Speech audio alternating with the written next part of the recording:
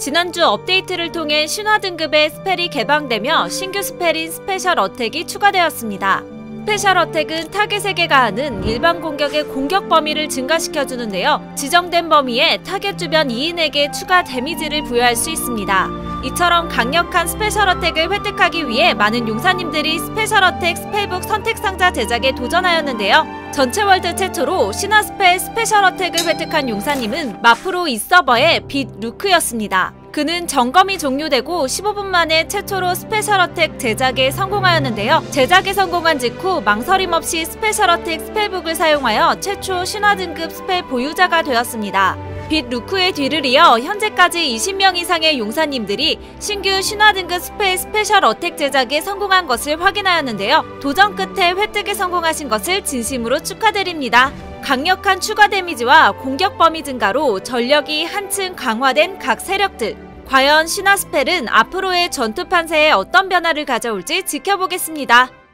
각 세력들의 치밀한 전략과 단체 행동이 빛을 발하는 월드 이전. 이번 월드 이전 기간에도 다양한 세력들의 기습 침공과 정면 충돌 등 월드 이전을 활용한 다양한 전투 양상을 확인할 수 있었습니다. 그 중에서도 가장 주목할 만한 월드는 다음과 같았는데요. 타 월드에 비해 높은 처치수를 기록하며 이목을 끌었습니다.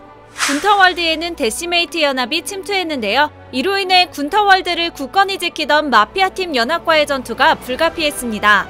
마피아팀 연합은 갑작스러운 데시메이트 연합의 기습에 일부 보스를 내어줬지만 전력을 가다듬고 다시 주도권을 되찾아오는 분위기인데요. 향후 군터월드에 패권을 쥐게 되는 세력은 누가 될 것인지 지켜보겠습니다. 전체 월드에서 가장 뜨거웠던 전장은 바로 에바월드였는데요. 에바월드는 월령에스와 성성네우로 대표되는 두 세력이 정면으로 충돌하며 타월드 대비 3배 이상 높은 처치수를 기록하였습니다.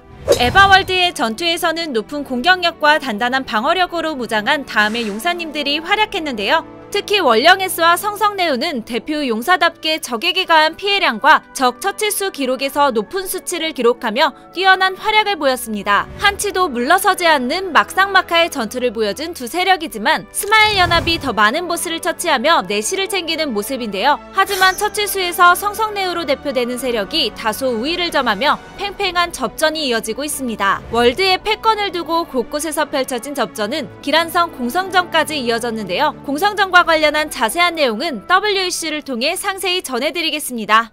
이번 주는 special attack과 월드 이전 기간에 발생한 전투 소식을 전해드렸습니다. 다음 주에도 다양한 소식으로 돌아오겠습니다.